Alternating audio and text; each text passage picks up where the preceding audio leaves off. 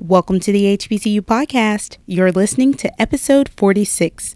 If you're an avid listener or just joining us for the first time, here we're joined by some awesome HBCU grads in the form of co host and guest.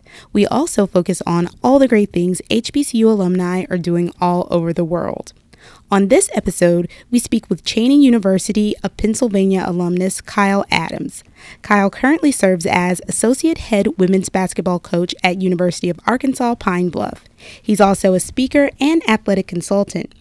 During this episode, we discuss his HBCU experience, his commitment to supporting women in leadership and athletic coaching, and how his business helps establish a firm foundation for leaders, coaches, and student athletes. Keep listening. It's the HBCU podcast.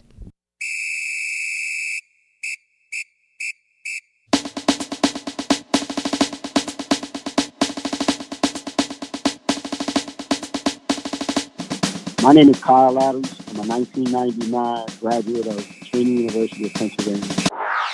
So, uh, Coach Adams, thank you so much for. I'm, I'm going to call you that. so, everybody needs a coach. Natasha. Everybody, everybody needs, a, needs coach. a coach. You are right. So, um, thank you. I'm so excited to have you here on the podcast because you are the first Cheyney alumnus to be on our podcast. So I'm on it. Yeah, on it. yeah. So thank you so much for that. Coach Kyle, tell us where you are from and what exactly led you to Cheyney University. I am uh, I am from the city of brotherly love, Philadelphia, Pennsylvania. Uh, my grandmother uh, was a graduate of Cheyney University. Um, I actually have her degree. She graduated in 1945. Her degree hangs in my office at Pine Bluff. Um, and Cheyney, Cheyney meant a great deal in my family. You know, I remember my grandmother's sorority sisters coming over to the house as a child. Um, I remember seeing Cheyney paraphernalia around the house. And, um, it just was something. It was it was very prevalent in my childhood, and when I when I went to high school, um, I didn't go to high school in Philadelphia. I went to high school in um, in suburban Pennsylvania, and when I started to think about colleges, um, you know, I, I will be frank, I, I wasn't I wasn't the greatest student, and Cheyney was one of the few institutions that that accepted me, and I. Uh, initially, I you know I, I wasn't sure I wanted to go to Cheyney, um, and I got there and I fell in love with it. And you know the relationships I created during my time at Cheyney shaped me, fully shaped me into who I am today. And I'm extremely thankful and grateful for, for the experience that Cheyney provided for me. Yeah. I love my school. Nice. So you um I, come from a family that uh, a, a, legacy here at an HBCU, and I think that's awesome that you yep. have your your grandmother's degree and um everything. Which sorority was she a part of? Uh, she was a member of Phi Delta Kappa, okay. which is a teaching sorority. Nice. I'm familiar. Cheyney. I, I always we had someone on the podcast from Lincoln. and so the the the debate is always which was the first HBCU, right? Right.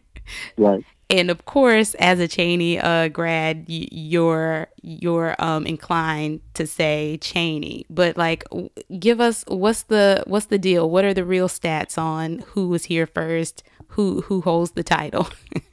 what I always let people know first and foremost is I have a great deal of love for Lincoln University. I, you know, I coached at Lincoln, um, and I had a great deal of friends and and people who've mentored me. I have mentees, um, people who I have very deep relationships with who are Lincoln graduates. Uh, Cheyney was founded as the Institute for Colored Youth in 1837, making it the first institution of higher education uh, for people of color in this country. Lincoln boasts uh, that they are the first institution to to reach university status. To grant degrees. That's their Yes, thing, right? That's correct. Okay. Yep. Nice. Uh, you know, and I, I tell people all the time, both, both, both, both are monumental and valuable. So I don't get caught all up in that. Absolutely. Very cool. So while you were at Cheyney, what um what was your major and what exactly led you down the path to explore the major that you chose? So Cheyney, Cheyney in its um, its founding was created uh, basically for the education of teachers. Um, and when I got to Cheyney in 1992, um, there was still a, a great deal of spirit and enthusiasm in the education department there. And when I graduated high school, I I had a, a, a great love for history, um, a great love for history, and my intention was to teach history. You know, I wanted to, to be a high school uh, history teacher, and I thought I may coach high school basketball. Um, and, you know, and it was really interesting. There, uh, there were a lot of students who may not have been educated, education majors, but a lot of my classmates and a lot of, you know, the fellow students at the university, they wanted to give back in some way. They wanted to, to you know, be it business, be it criminal justice. They wanted, they had a spirit of wanting to give back. So that was very prevalent during um, during my time at Cheyney, and just seeing that um, around a lot of our students. And so I started as a secondary education social sciences major, and I ended up transitioning when I started to figure that you know I wanted to coach. I started to transition into psychology. So my bachelor's is actually in, I have a bachelor's in psychology um, with a minor in secondary education, social science. And your career um, over time, it's led you to to teaching and essentially coaching. When was it that you um, officially kind of made the change or made the transition over to higher ed? So it, it was really interesting. I got an opportunity while I was when I when I was a student and right after um, I finished undergrad, I got an opportunity to come back and be like a like a volunteer coach with the men's basketball program. Um, while I, actually while I was in school, um, I got an opportunity to, to coach high school, and it I'd always had a strong passion uh, for the game of basketball because it taught me a great deal. It helped me make make sense of a lot of the, the organization and uh, and how to prepare for things in my life. And so I, I, I wanted to, to have an opportunity to give that back and help help help that make sense to other young people. And so I've always, you know, I've always viewed myself as a teacher, as an educator first. Um, my medium may be history, my medium may be um, psychology, or it may be the basketball court. And so I've I've never lost sight or uh, been disconnected from my roots as an educator. But I kind of always knew that I would be doing something to uplift and um, and help people. Gotcha. And you've done that through coaching. So, and you said before everybody needs a coach, but what exactly is it that drew you to coaching and what was it in you that realized that you had that innate ability to, you know, coach, mentor, uh, direct youth in the way that you have done? And Tasha, I think what's what's been really interesting in my my life's journey uh, has been the universe has used me to connect people.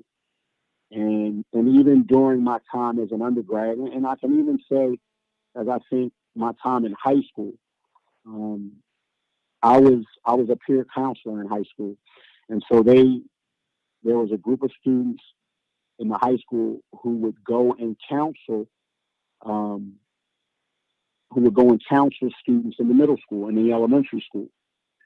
And, you know, once I got to Cheyney, I was uh, involved in a great deal from student government to uh, residence hall, council, to um, just various forms of student leadership.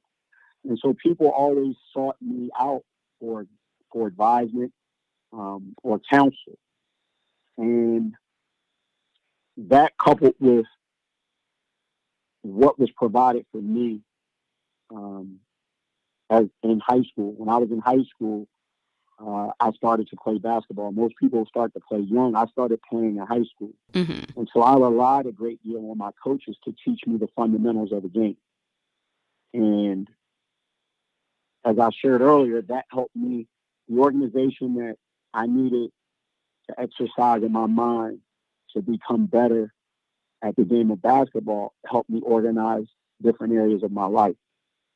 And it helped me make sense of things at a young age. And I wanted to help provide that for other young people. Um, I've always been in love with the game from a standpoint of um, being able to teach the game, the finer parts of the game, but also um, in building teams and, and people connecting to one another and understanding how important it is for us to sacrifice um, the individual accolades for uh, for the team and and how to get people there. Um, that's always been very intriguing to me and um, exciting to me to see groups come together. Um, you know, people from different backgrounds, and different areas, and, and different thought processes bring their greatest strengths to the group and create success. You know, that always excited me. And so to have an opportunity to, to come back, come back and do that at Cheyney um, as an undergrad and right after I finished undergrad was really, um, you know, it was supernatural for me. Nice. So you've um, coached, as you mentioned, with high school, correct? And yes, and now um you well not now but you've also moved into higher education. Which other uh, institutions have you had the privilege of coaching for? I've coached uh, i've coached at the junior college level. I've coached at the community college of philadelphia. Uh, i've coached at the division three level. I've coached at eastern university uh, plattsburgh state university. Uh, i've coached at um, i've coached at lincoln university. Uh, i coached I've, I've had two stints at Cheyney. I coached uh, as a men's assistant coach, and then my transition into women's basketball started at Cheyney. Uh, I also coached at a at a school in Ohio um, where I went on to get my graduate degree from University of Rio Grande. And when I left Rio Grande, my dream had, was always to go back to Cheyney to coach. Um, you know, people who coach you know, their their dreams and their aspirations. Many times it leads them to coach at the highest levels at a Duke, at a North Carolina, at a Kansas. That was never my dream. Um, my dream, you know, what I prayed for was to have an opportunity to return to my alma mater. Um, but I never knew that it would be coaching women. And when I returned coaching women, that's when I really found um, I found my ministry when I started to coach women. Because coaching women um, it caused me to it, it, it allowed me to grow in a lot of different areas. Um, and so in 2011 I returned to Cheyney um, for a second stint as the assistant women's basketball coach. And then I was elevated to head coach uh, in 2013. And so now you are at another uh, HBCU, correct? Um, University of Arkansas at Pine Bluff. Is this yes, this ma'am. isn't breaking news, is it? no, it's not breaking. News. Okay, because I, I was like, wait, let me make sure I'm not like telling everybody's business, but you're the associate head women's uh, basketball coach at University of Arkansas at Pine Bluff. And you mentioned a little bit about you coaching um, women and how you've transitioned to that. But before we get into a, a, little bit more, because I do have questions about that, I want to know if you've seen any type of difference um, with coaching HBCU teams versus um, majority institutions. Well, I think just uh, I have a very sincere affection um, for what our schools provide for young people. Um, having the experience of working at uh, majority institutions, and, and I've worked at some very, very good institutions. Um, I love what our schools provide for our people, um, and, and, not just our people, for for the, the students that attend it. Um, you know, I I felt that in my experience, I received a great deal of nurturing. Um, I grew as a man uh, at Cheyney and, and, in the HBCU environment. Um, you know, there were there were people who who operated as gatekeepers and and standard bearers in my life. That you know, and I talk to you about everybody needs a, a coach. Um, you know, my mentor, my and, I had so many mentors in undergrad, but um, my mentor Donzel Tiller, who was my resident advisor, I'm sorry, my resident director when I was an undergraduate, who I went on to to be a, a an RA for him. He helped me develop into the man I am today. Um, you know, a lot of when people see me um, when I'm dressed, I wear bow ties. That's my signature, and that's my that that's how I pay homage to to Mr. Tiller because he taught us how to to grow and develop as young professionals. He treated the residence hall environment, which you your job as an RA, that was that was preparing you for the professional world. You're doing programming, you're doing conflict resolution, you know, you're doing administrative work. He he he helped guide us, and not just me. Um, so many other students on that campus. Um, and I talk about Brother Tiller, but there were so many people who stood in the gap for those our students. And I think that's not something that's just unique to my experience at Cheyney. I think all of us have, excuse me, all of us have people who stood in the gap for us um, during our experience in school. And I think sometimes, and, and really in working in higher ed, although I've, I've coached for a great deal of time, I've worked in student affairs, I've worked in uh, diversity, um, I've worked in residence life, so I've seen sort of the holistic um, approach of student life, of the student life profession. And I know what some schools, um, you know, I know what some schools really value. And I think it's important that for me at this juncture in my life that I work in environments where there's congruence with who I am as a, as a human being and what my life's journey is. Mm-hmm. And so I find that I better connect um, in these environments. So I, have you know, I've loved the opportunity to not only attend an HBCU, but to then serve at these schools. And it's not, not nothing different, at, you know, being at the University of Arkansas at Pine Bluff. I, I think it's an amazing institution. Um, and I'm excited to be there. I know they're excited uh, to, to have you. Um, I've seen here recently and maybe maybe it's just that I've paid more attention um, since we started the podcast and you know just about HBCU news and HBCU culture and just HBCUs in general and just how much more light they've been given um, whether it be via a Beyonce whether it be you know via Jay-Z starting a you know um, scholarships whatever. There's been a lot of people who've been putting light on historically black colleges and universities. But uh, specifically, um, here recently, I saw something and a bunch of people tagged me um, in it on social media about sports analyst Chris Broussard, I, I think is his name, yep.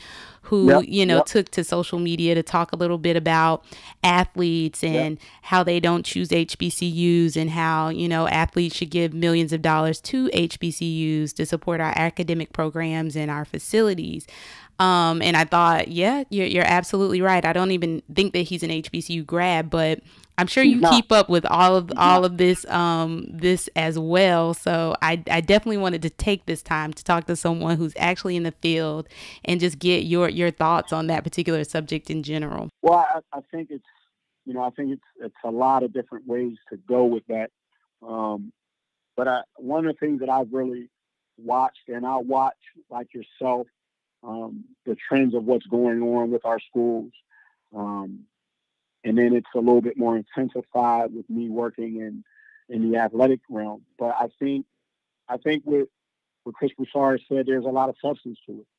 Um, I think that we're at a time in our country where when parents look at schools for their children who may not have traditionally looked at our schools, they're starting to look at our schools as viable options. I think the climate of what's happening in our country right now um, makes it a, our schools much more appealing based on a lot of what I talked about, um, just based on my experience. You know, I think I think it's nice. You know, sometimes it can be nice or sexy for their parents to say their child goes to this school or big time you or, or that. But when you look at the holistic journey of of of of your life, you can talk about how your educational experience at Claflin, how it shaped you for your life. It just didn't create you to be an employee. It shaped you to, to, to, to work in your life's journey and to work in your ministry um, and to how you're going to uplift and do your part. And I don't know that, that all institutions operate in that way. And I think that that's somewhat by design times. Um, but I know that our schools have high value um, in preparing us to have meaningful lives where we're giving back and we're serving um, and, and, where we can provide for ourselves and create lanes for ourselves and not just be employees, um, but also be the employer. Um, and so I, I, think from a from a student athlete vein, um, the, the, the, the culture of what's going on in this country, if you're watching what's going on with the NCAA, which which prompted a lot of Chris Broussard's comments, um, that our student athletes, I, I, you know, as an African American coach, I think it's important for our student athletes to see people. If, if I'm coaching young women who want to coach that look like me, I think it's important that they see images of, of people who look like them in the positions that they aspire to, to, to ascend to one day. And I think that's not just in the athletic and coaching profession. I think that's across the board. And so, um, you know, I think what, what Chris Broussard said was was very powerful. And I hope that there, you know, I hope there's more conversation and more action around it. Absolutely. Yeah. Um, I, I, I just was very interested too on your take um, for something like that. And I totally agree. Um, have you found it to be challenging to uh, recruit some of the top athletes from high schools to um, programs at HBCUs? I, I think I, I, think that's a great question.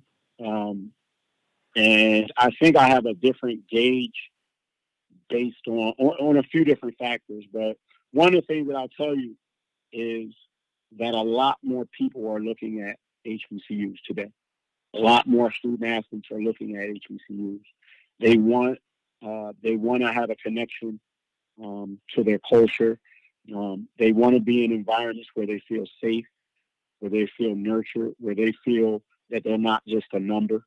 Um, I think you're going to consistently, you're going to continue to have student athletes and parents who look at um, who look at majority institutions as, as, being better or you know having more resources and having i tell people all the time um, we have resources are just different and one of the things that I, I, I feel that we have greater is we have greater human resource um, you know i talked to you earlier about my mentor uh, you know Tiller.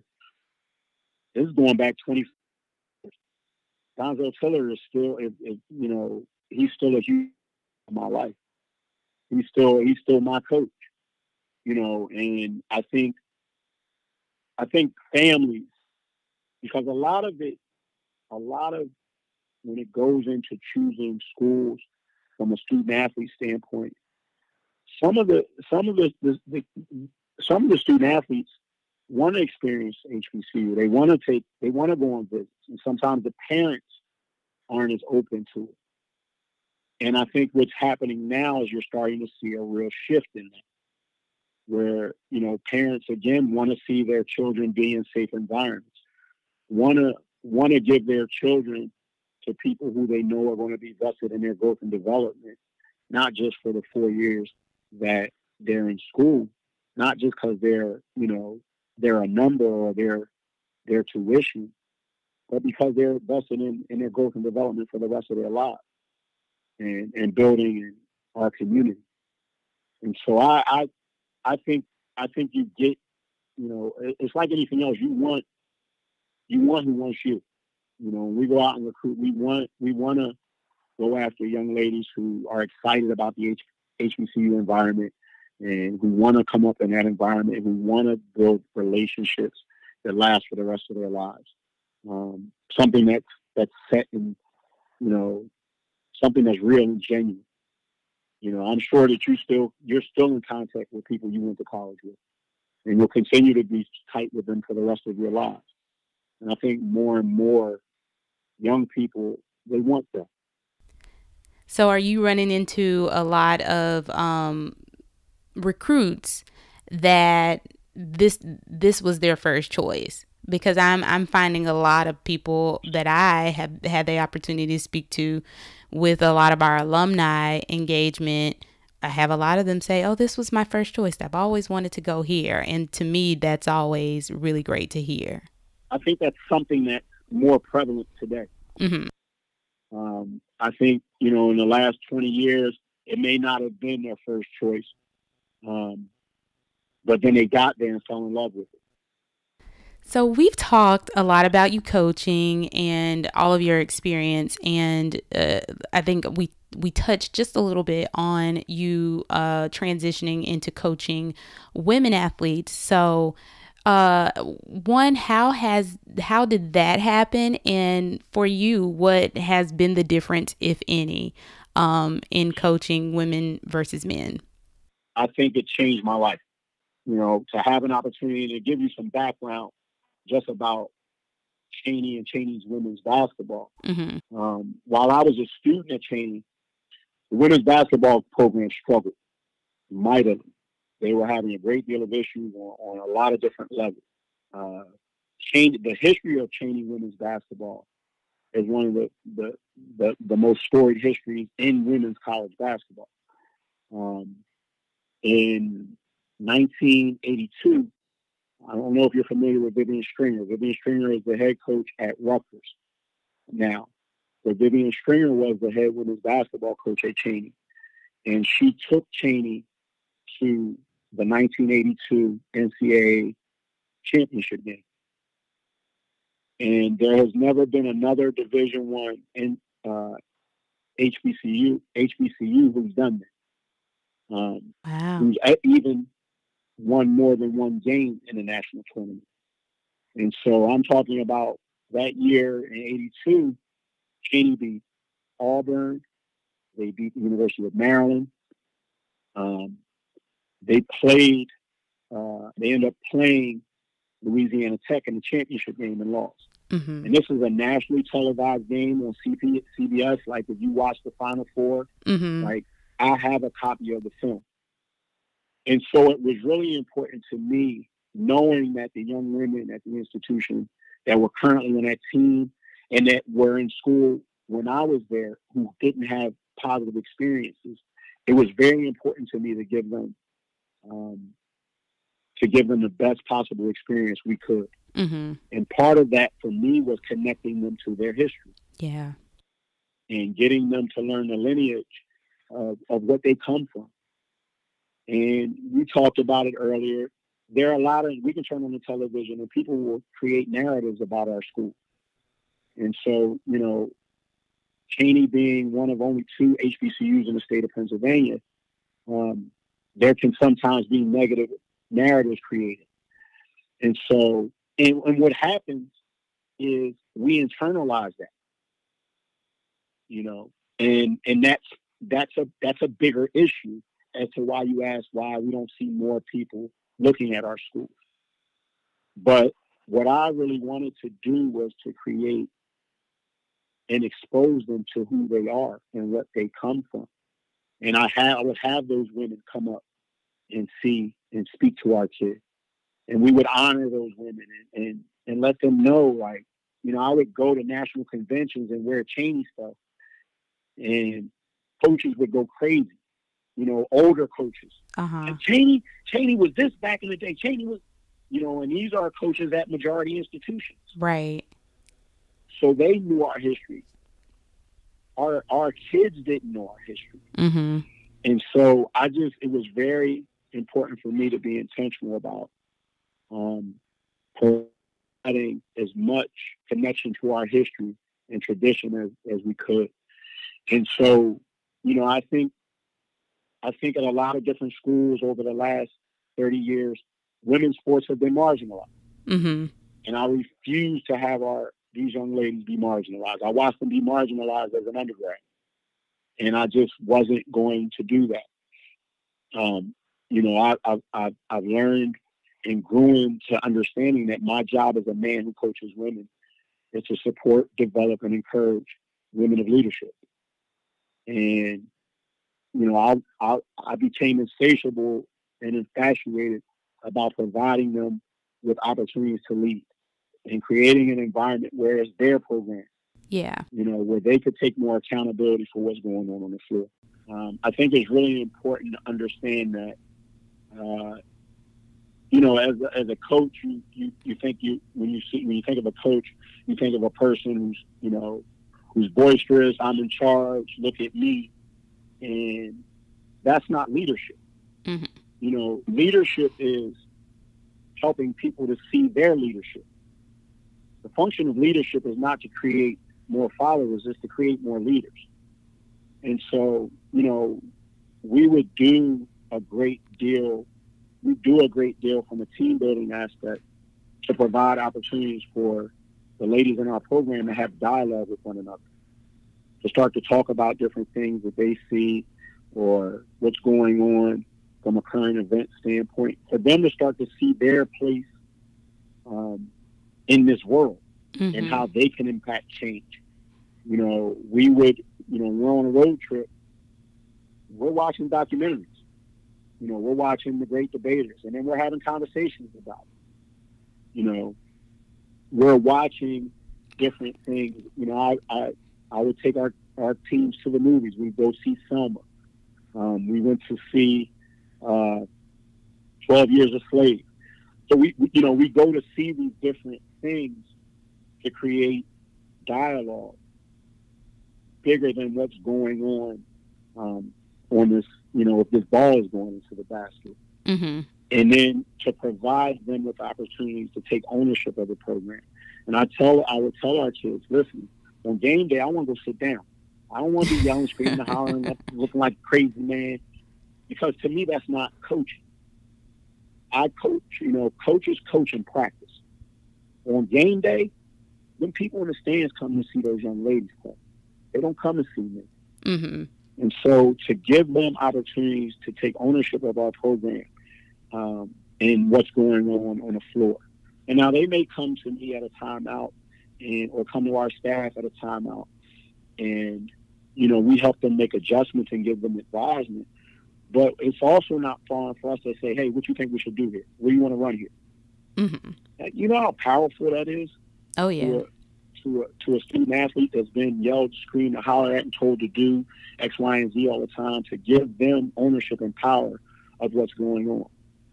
And then that that courage to make those decisions and to have a thought that transcends past when they get done playing basketball. Mm-hmm. They take that with them into you know the rest of their lives and the decisions that they make. And so I, that's that's been at the epicenter of, of what I've enjoyed about coaching women is being able to empower people and letting them see, you know, their great, the great, the greatness in themselves. Um, but you also talked about the development of mentorship, and I think one of the, you know, one of the biggest things for me to do was when we had our basketball camp in the summer, because when we'd have camp, our student athletes are the coaches. Mm-hmm. And you know, I've always looked at what we do in in, in, a, in a basketball program. We're not just a, a, sports program. We're a community engagement entity. Mm-hmm. And, you know, I wanted to create an environment where, and help our kids create an environment that the kids in the community are waking up on Saturday morning, knocking on their mother's door saying, Mom, take me to go see Natasha. I want to see Natasha play tonight. And that comes from the experience that they had with athletes in camp. You know, where where now our student athletes are the coaches. Mm-hmm. And they're responsible for the instruction and, you know, the care of these young people in their growth and development. Now it gives them a better sense of what it means to be in this, to be a mentor. Uh-huh. Um, and then they're able to carry that with them as they go forward. So, yeah, I love that. Um, that you're giving them this opportunity. You you've talked a lot about just developing the whole person as um, someone who's an educator, someone who's in higher education, uh, someone who coaches. And I love that you're, you're talking about putting the ownership um, back onto the athletes, showcasing, uh, building the whole person through volunteerism, through coaching. And I, I think that's what it's all about. But one of the things I wanted to know too, um, even with mentorship and and all of the the women that you've had the the chance to and all the athletes really that you've had the chance to coach do all of them have aspirations to play in the league? Or is there a surprising number who really want to go into more traditional professions? I, at, at the levels that i've coached um, you know there there have been a few who you know, who who wanted to have an opportunity to maybe play overseas. Mm-hmm. Um, you know, to maybe play professionally for a few years, but many of them want to go into some type of traditional profession or um, become an entrepreneur or you know a lot we talk a lot about graduate school mm-hmm. you know I, we we just actually had a young lady one of the first young ladies we coached at Cheyney she just got her master's you know, and this was a young lady who wasn't thinking about graduate school. Mm-hmm. But there's more. There's more of those young people who who want to go into a traditional profession or create a business or um, further their education than there are those who, who want to play professionally or or should I say there are more who realize that they're going to have an, a, a, better opportunity to take a traditional route mm-hmm. um, than to, to play professionally. And and we gear a lot of what we do towards that nice. in, in their growth and development in that realm. Nice. Just taking the tools and and going out and be their best selves. Yes. So, with that being said, we th- this is obviously a, a passion, a, of yours, just all of this. And that's clear and just kind of like reading everything that I've I've read about you and in the research, so much so that you have a business that says it's bigger than ball. And if you've been listening to this point, it obviously is because you very rarely even talk about just basketball. You're really um, engaged with developing um, leaders, developing um, just people who are able to go back into the world and give back. So tell us about what led you to create It's Bigger Than Ball. Um, it's it's bigger than the ball.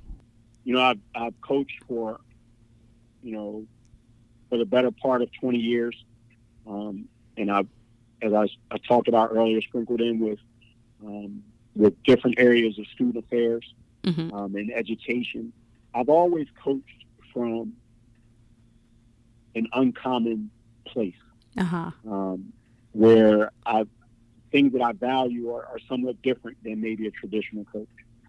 Um, and I've I've often thought that that we need more coaches who, who understand that regardless of you win or lose a basketball game, there are some things that each student athlete that you coach needs to be equipped with, regardless of what sport it is you coach.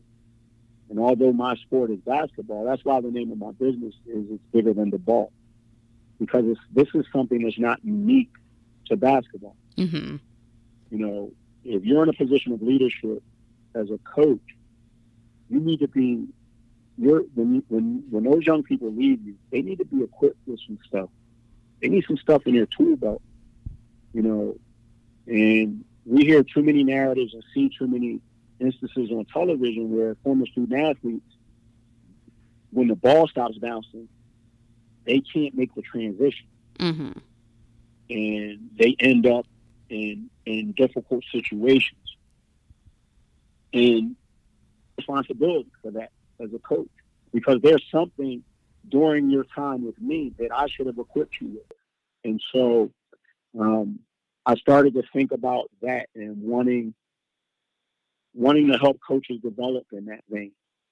You know, I've always been very vested in in in growth and development for myself, for my student athletes, but also for coaches. And I recognize that I would, you know, I would be on the phone with four or five coaches every day. And people would just want to call and want to talk about things that are going on with their teams and or talk about different, you know, issues that they were facing or different things they were going through just, you know, in the vein of, of our of our profession. Mm-hmm. And I wanted to provide more. Because I recognize um, I recognize that coach, I'm not improving. The student athletes that we're coaching aren't improving. So I need to be reading. I need to be getting mentored. Um, I need to be going to development. I need to be staying current on my craft. The other thing that, that, that had a big impact was understanding that the kids that I coached 20 years ago are very different than those I coach today. Oh, That's a good I one. used you know, if I use, if I coach how I coached those kids 20 years ago, I'm not going to be coaching much longer. And I've seen a lot of my contemporaries and a lot of my peers who have left coaching because they haven't been able to make that transition. And I think what a, a lot of that, what's required is, again, I talk about coaching being very ego driven. But today's student athletes don't they don't care about what you know. They can go on YouTube and learn how to shoot a jump shot.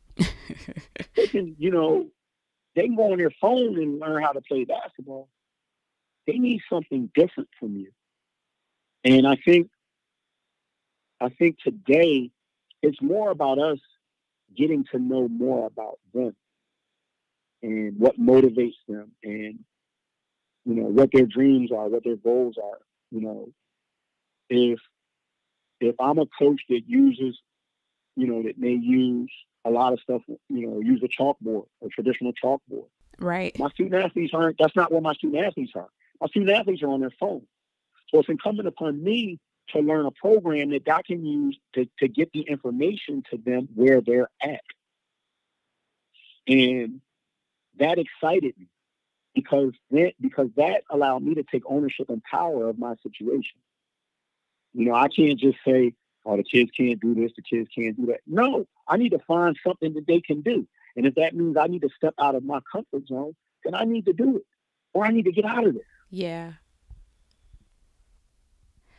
And so that's helped keep me current, and I want to help coach other co- coaches to remain current. Because in that, all we do is expand ourselves.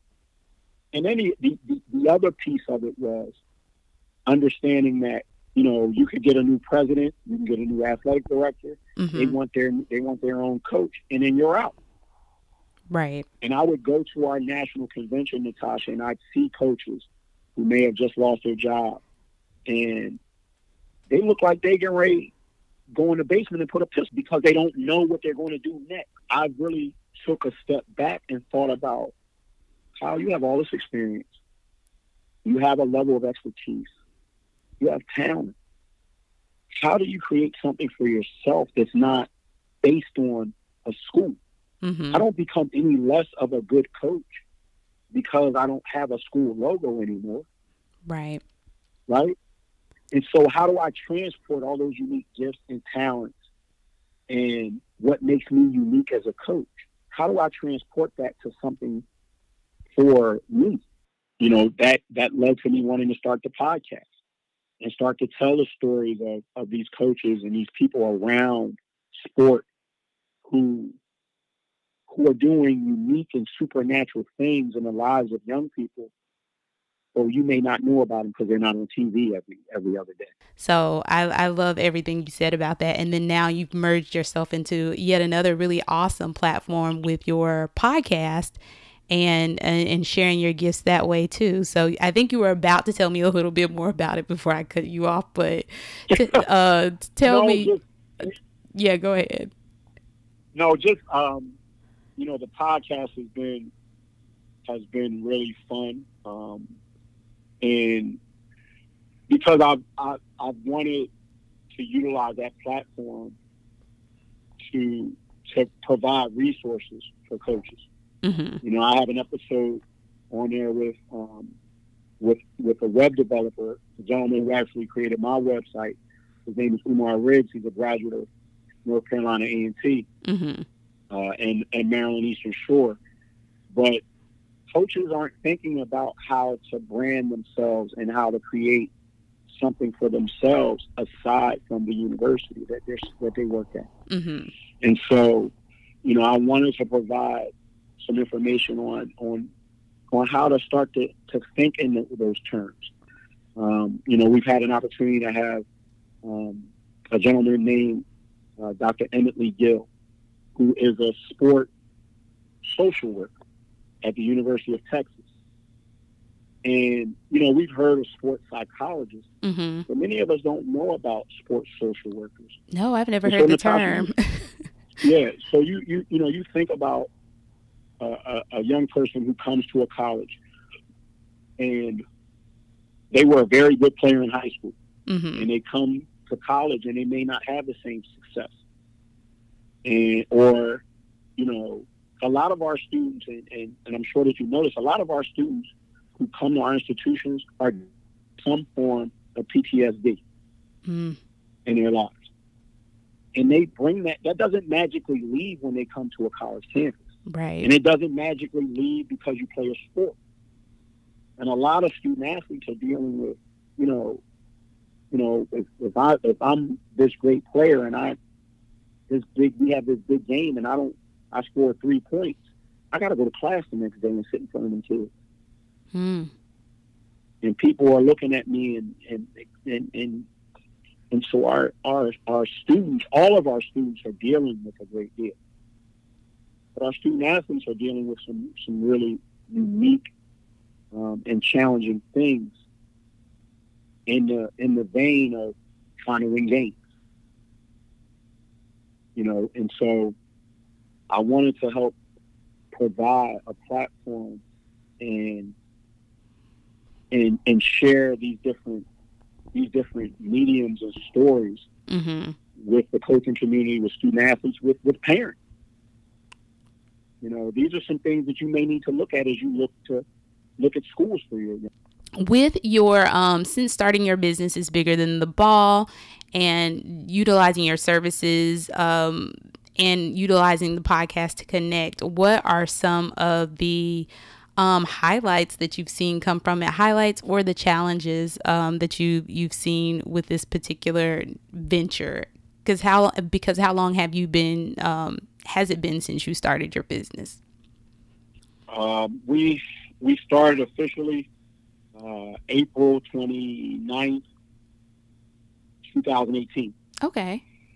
And you know, I, I don't come from a traditional business background. Mm-hmm. And what's been really refreshing um, has been the people who really helped me to grow this business um, and to learn more about business. And, um, you know, I, I think some of the highlights have been the the opportunity to go in to teams and do work with coaches um, that helps their teams perform better, mm-hmm. helps their teams connect more, um, to, to, help coaches connect better to their teams. Um, we do a great deal deal of uh, we do some consulting, we do coaching consulting, we do organizational development, and then I've had an opportunity to do a great deal of speaking. Mm-hmm. Um, and I've really enjoyed it, all of it. Um, you know, to have coaches because I've I've been someone who's who's who's had a who's had a coach, you know, who where I had a, a person that I that I a consultant that I utilized and helped me a great deal in my growth and development as a coach. And so for to have coaches who see the value of of taking on a consultant and, and seeing the value of what they feel as their experience can help them provide to better, you know, provide for their student athletes, I think is immeasurable. And then the other piece is for coaches to allow to allow me to come in and do work with their teams. You know, your team is something that's very tribal. It's very, um, you know, it's very private.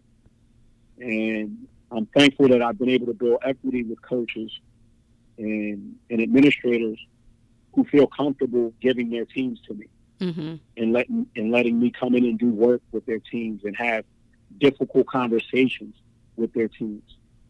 Um, that in the end lead to, you know, lead to them becoming more connected.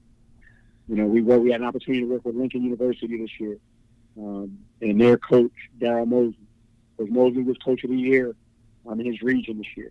Nice. You know, we were able to do a great deal of work with the University of Maryland Eastern Shore and Fred Batchelor.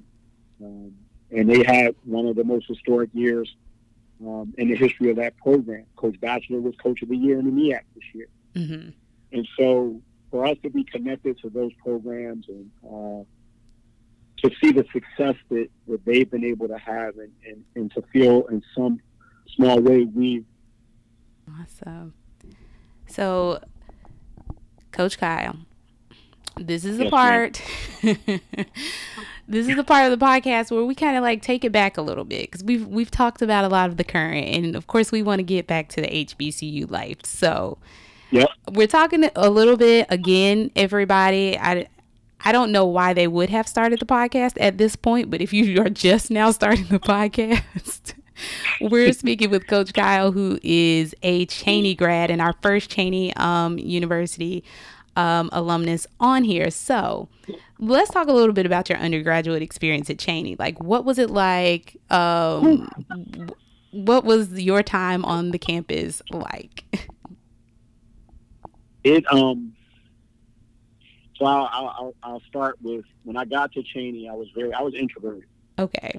Um, you know, I was very introverted. I went to high school. I went to a predominantly white high school, and you know, although I was from Philadelphia, I got into some trouble when I was young. My mother sent me to live with my father um, in northeastern Pennsylvania, and I graduated from high school, and I chose to go to Cheyney, And the social, um, just the social environment of the campus I think I, I, don't think I was I didn't think I was ready for. Mm-hmm. So I was I was a bit introverted when I when I first got to Cheyney, and you know at the semester break, you know I told my mother I said I don't know if I want to stay. Um, you know I'm thinking about you know I don't know maybe I want to transfer I don't know. And my mother said something that was so profound to me. She said, "Okay, I understand." She said, "But I think you need to go back the second semester and give it a chance." And at, at the end of this, at the end of the year, if you don't like it, then we'll you know we'll consider making a change. Mm-hmm. And Natasha, I really jumped in, and I really opened up, and I got out of my comfort zone, and I got involved. Mm-hmm. And you know, I had an amazing experience. I built relationships that um, that sustained me to this day. As I said, I was involved in student government. Um, you know, I was a resident advisor. Uh, you know, I, I got one of my first coaching experiences. You know, we had, you know, the Lincoln Cheyney rivalry is real. Yeah, I, so I, I, heard they, about that. they um we had we had an intramural game where, you know, we had an intramural team and they had an intramural team. And one of my you know, I was I was chosen to coach that team. Mm-hmm. Uh, you know, against Lincoln. And you know, Cheyney just provided so many opportunities for leadership for me. Mm-hmm. And I think I, I, I, one of the things I recognized in the time that I went to school, many of our schools, you know, again, you, you, you go back to the quote unquote resources. But what we were empowered to do was, you can create what you want. If it's not here, create it. Mm-hmm. And many of our students did that. You know, I went to school with some really ingenuitive people, and you know, we when you know homecoming was was amazing. You know, and to have alums come back and to see that great pride that they had for our institution, and you know, you working in alumni, you know, and understanding the importance of it. I've been an active alum. I'm a life member of our alumni association. Mm-hmm. Um, I know the challenges that we that we have, and when you're an undergrad, you don't see it. Yeah. You know, and you know, I just you're just worried. You're homecoming. You're having fun. what so speaking Yeah. of homecoming i mean at Cheyney what was that as an undergraduate maybe your favorite you know moment as an undergrad was homecoming one of them what was that experience like Well, I mean, I was. I, one year I was homecoming king. I was homecoming king 1996. That was that was fun. uh-oh Um, uh, but May weekend, May weekend, is, and everybody has like a homecoming in the spring, like a spring fling type Mhm. of event. Um, you know, just just us having an opportunity to fellowship, and you would have you'd have everybody. Everybody talk bad about Cheyney, but May weekend and homecoming, everybody's at Cheyney. you know, Temple, Penn, Drexel, Lincoln, Bell State, and so just really having, you know, going to school at a time where no matter where you went to school, it meant something to be young black and in college. hmm And we took a great deal of pride in that everywhere we went and how we connected to one another and each other on other campuses. And so um, I have so many memories. I, I you know, the statute of limitations is up. I can tell you some things, but um, I, I just Cheyney Cheyney has given me a great deal, and I and I enjoy going back to homecoming to this day yeah um, and, and going back and, and ensuring that those that the young people that are there now are having the type of experience that we had. hmm So Awesome. So, speaking of alumni, we always, of course, this podcast has an alumni focus. What does giving back to Cheyney look like? I mean, as I as I as I think about it, I I, I one think about um, you know my grandmother's degree in my office when I worked there, hmm and you know I wanted my time. I wanted her to be proud of me. Um, she passed away three years before I, I went back to training um, to coach, but I wanted her to be proud of me. Um, I understood the importance of, um, you know, and I talk about, you asked me about my experience. Those young people I recruited to that campus, those young ladies I recruited, it a job to ensure that they had, they had an experience equivalent, if not better than the one I had.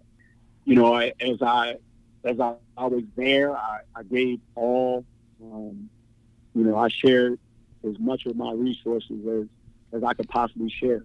And I think it's important for our alums to understand that, you know, sharing your resources isn't just about money. Right. Um, you know, and I've, I've heard people say this before, but it's true. You have you have three things that you can share: your time, your talent, and your treasure. And in your time, you can you can go and you can spend time on that campus. Um, you know, be it through any affinity group, be it through your fraternity, be it through your major. Um, but sharing your resources with that, you know, with the students there, going up and mentoring. Um, you know, your your talent, you know, what it is you do. How can you influence and help young people who may want to come and, and work in the field? hmm You know, I think so many of us get caught up on, you know, because we get that letter in the mail. Oh man, I ain't got it this month. And you know, we all understand that our schools are tuition driven, and they need funding to survive. Right. Um, Especially our private ones. yeah, and, and, and, and one of the things is, you know, kudos to Claflin being one of the largest grossing. Um, if I'm sorry, not one of the largest grossing from, as it pertains to alumni giving. I, like I know those, your alums give, and are getting our alums to understand the different ways that we can give, and then using your resources. Maybe I can't give out of my pocket, mm-hmm. but I'm, I'm connected to a board or I'm connected to a business that can give in some other way. Absolutely. And I think I think many of us have to have to think more out of the box as to ways to contribute to what's going on at our schools. Because if we don't, and I say this all the time and we talk about it, it's going to be a sad day if it, and you turn on the, the, the television and your schools disappear. Mm-hmm. Well, I love that you also said you're a life member of the Alumni Association because I've spent some time, as I mentioned, with the Alumni Association for Claflin. And one of the hardest things we've, even with our uh, alumni giving a lot, one of the hardest things is to get, you know, alums to participate um, in with the alumni association and the events that we do and things like that. So um, that's also something that kudos to you because a lot of people are not involved in any particular way with their alumni association. I think I, I, and to your point natasha you talked about it earlier. Sometimes there can also be that disconnect with the elder alums and then getting the younger alums on board because there's a disconnect and, and different, uh, you know, different agendas and those different things. And I think more of us need to submerge our egos and and find a way to work together. Mm-hmm. Because our elder alums have a great deal of experience in serving, but some of our younger alums have, have a have a great deal of knowledge from a technological standpoint, a lot of different things that they can bring to move our our associations forward. Well, that is awesome. Keep doing what you're doing in that regard. If you could encourage a student to choose Cheyney or any other HBCU, what would you say? I believe in the power of transformative education. I'm a product of it. I believe in Cheyney University. I believe in HBCUs. I think we're at a time and place in our country um, where it does it gives them a great advantage to have an opportunity to be in learning environments that are committed to their growth and development on a holistic level, which gives them the empowerment, the encouragement, allows them to see their talents, that's not trying to submerge who they are, but really wants to help them to be their best self. I will never be more thankful um, for the opportunity at Cheyney University has provided for me. So I'm very thankful for my experience. This one is very important because we want all of our listeners to know who you are, what you do, what you have going on. So, are there any other things that are coming up for you that we should be on the lookout for? And also share with our listeners where they can find more information about you. You can check out our website at www.itsbiggerthantheball.com. We're also on YouTube. I have a YouTube page it's bigger than the ball. Uh, I'm on all social media platforms at Coach KA20. Um, that's Instagram, Twitter, and Facebook. Feel free to email me at info at it's bigger than the ball.com. And then our podcast, the It's Bigger Than the Ball podcast, hosted, hosted by Coach Kyle Adams. We are on the Apple uh, and Stitcher platforms. Uh, please feel free to check us out, leave a comment. Um, I'm extremely excited. I have to give our head coach, Dawn Brown, who's the head women's basketball coach at University of Arkansas Pine Bluff. Um, this is her first year. This is our first year as a staff. We're extremely excited about um, about building a program of significance at, at UAPB. And I, uh, Natasha, I'd really like to thank you just for this opportunity to share, you know, just some of my journey and experiences.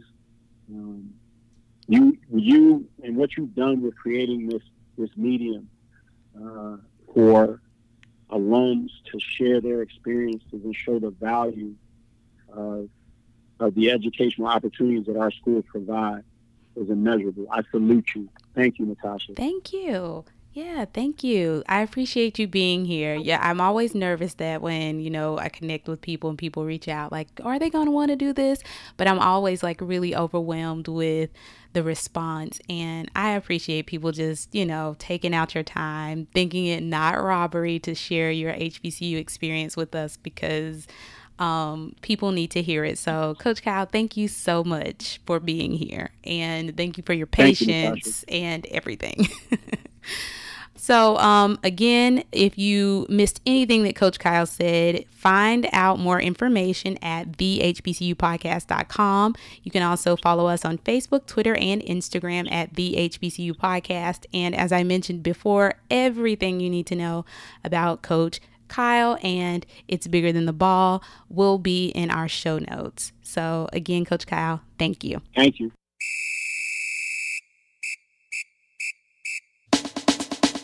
Thank you so much for listening to the HBCU podcast. We have so much more HBCU content on the way, so make sure you subscribe to the podcast, rate the podcast, and visit us at thehbcupodcast.com. And don't forget to follow us on Instagram and Twitter at the HBCU Podcast. Like us on Facebook. We love you for listening. Until next time.